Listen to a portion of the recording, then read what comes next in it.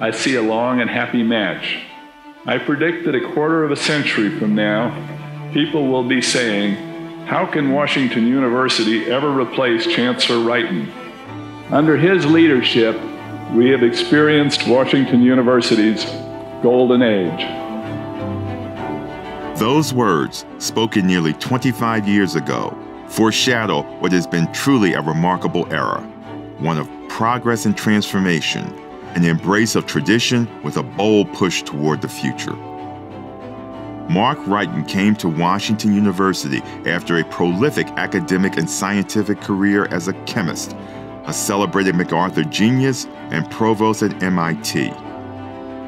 As our 14th chancellor, he has been a visionary, seeing the potential to enhance the university's leadership today to benefit America and the world tomorrow, and setting us on a course to do just that. Some among you may wonder, what does the chancellor do?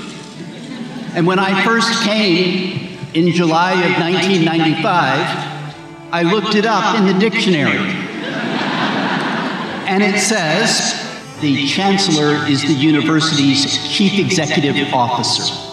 But there is another definition, and it's the one that I like the most. It's doorkeeper. My responsibility is to open doors for you. Open doors he has. Doors for students who might not otherwise have had the opportunity. Doors for researchers full of great promise and potential doors for partners all around the world who are equally committed to making life better for all. Mark has brought the world to Washington University and Washington University to the world.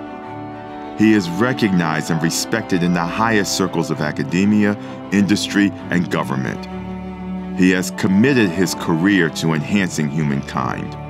Over the years, Mark and his wife Risa have inspired a deep sense of dedication strengthening our commitment to each other and to the communities we serve.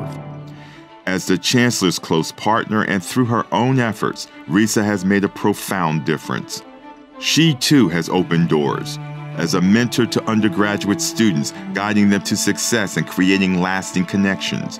As the founder of Home Plate, bringing together incoming freshmen and local families to break bread as a determined leader behind the university's gun violence initiative aimed at saving lives, especially among our youth. Earlier this year, Risa received the prestigious St. Louis Women of Achievement Award for her volunteer service in the St. Louis region, a befitting honor for someone who has made life better for so many.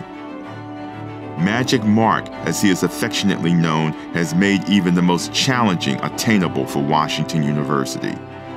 He moved us onto the global scene through the McDonnell International Scholars Academy, expanding our reach and impact to nearly every continent around the world. He led the creation of the Alvin J. Siteman Cancer Center, now one of the world's finest in discovering and delivering life saving therapies. He has instilled a collaborative, interdisciplinary culture that fuels much of our work. He has motivated faculty like me to pursue academic excellence and set our students on a path for lives of meaning. And you can see and feel his leadership just by walking across our campuses, which have earned national acclaim. Mark has made Washington University what it is today a place where solutions to great challenges are found, where the next generation of leaders is cultivated and inspired, and the future is made better for all. Mark and Risa, thank you for all you've done to make Washington University a truly great institution and our community so strong. Because of you, our doors to opportunity are wide open and the future is bright.